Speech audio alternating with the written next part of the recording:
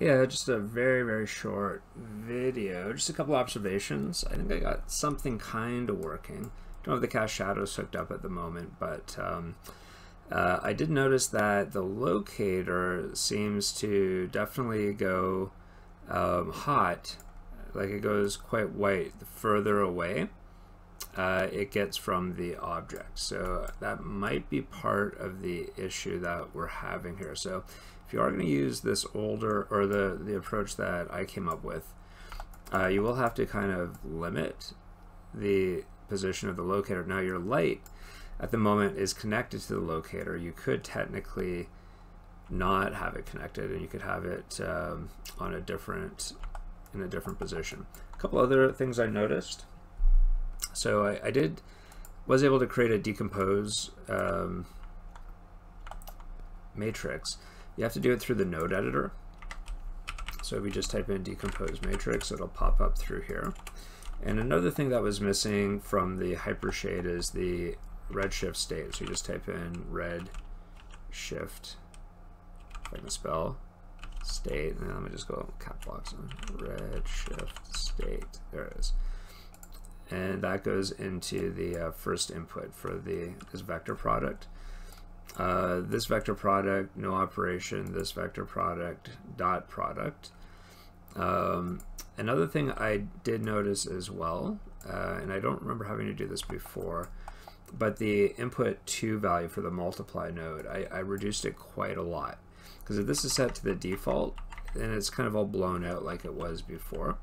And another thing I, I found I had to do was invert the the um, x z value, invert the x um, z value, because uh, for some reason it wasn't. It was doing the opposite. So I'd move up here, it would go the opposite direction on the highlight. So this seems to be working, right? And once you've got something, you can always readjust the the curves uh, through the through here, right? So I could always go through and readjust this as, as much as I can. You know, this part that's in highlight here, um, you know, that's going to be, it, it, does seem to not let me go past a certain point where it's on the back side of this. Um, but, you know, that could be any color, right? We could make that any color. But as soon as it gets past halfway, that does seem to not want to go any further. And then we could always add in more more colors if you wanted to have say a white or something like that at the top. So without actually going beyond with this, because this will also add in the white, as you can see there. All right, so hopefully that helps a little bit more. Um, and then obviously the locator gets pipe, piped in, so the world matrix 0 goes into the input matrix. Um, the out translate goes into input 1. Uh, we have the lower value for the input 2 with the negative there.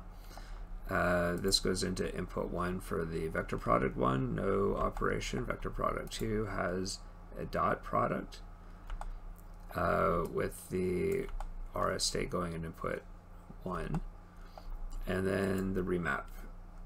And I didn't really change anything here on the remap. And that goes into the incandescent color.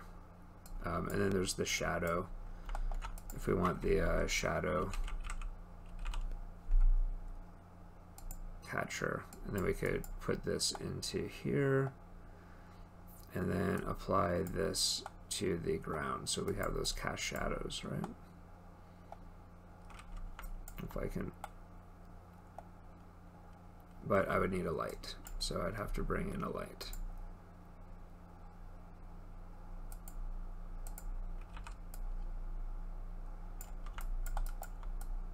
Right and you know I would put it near or the side of the locator but it doesn't have to be exactly on the same spot as the, as the locator I guess. And then you know that shadow color can be anything right? So we could basically make that shadow color anything under here. Shadow. So things like transparent well I would just play with the transparency right? So it has a little bit of whatever the ground color is. Anyhow I hope this helps. Um, I think it's getting closer. So I built this from scratch in the newest version of Maya. So this should this should work, I think. Um, okay, I'm going to end it here. Okay, cheers, bye.